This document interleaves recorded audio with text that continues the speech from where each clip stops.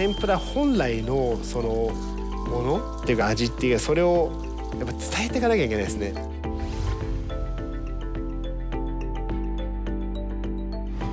江戸の食の伝統技味を継承し伝える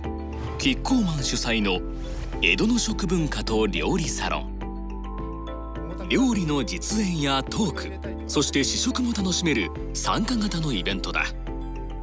今回デモンストレーションを行ったのは神楽坂天功2代目新井仁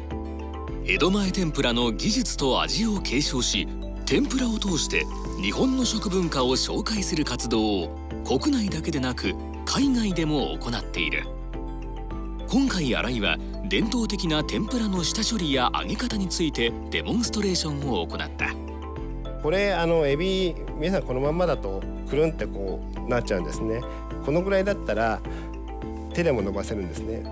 だ要は身を傷つけないで筋だけを伸ばしてあげるっていうことをしてるんですね。プリ。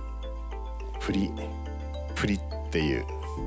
天ぷらに欠かせない食材。エビは天候でも人気メニューの一つ。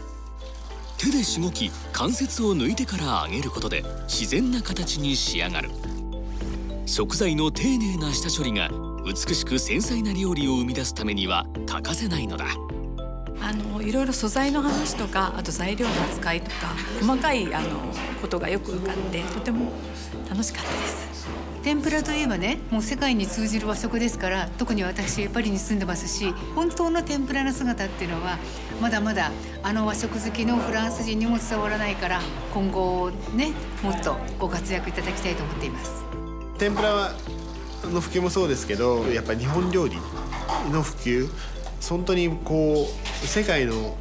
比べても日本人にまだまだだと思うんですよ。だけどこんなに美味しくてこんなに体に優しくてこんなに自然をこう大切にしてる料理ってないと思うんですよね。世界中どこ探しても。こういうことを活動してどんどんやっぱりその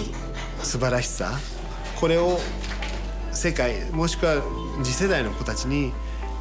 どんどんしたいですね。海外で本物の江戸前天ぷらを楽しめる。そんな日もそう遠くはないのかもしれない。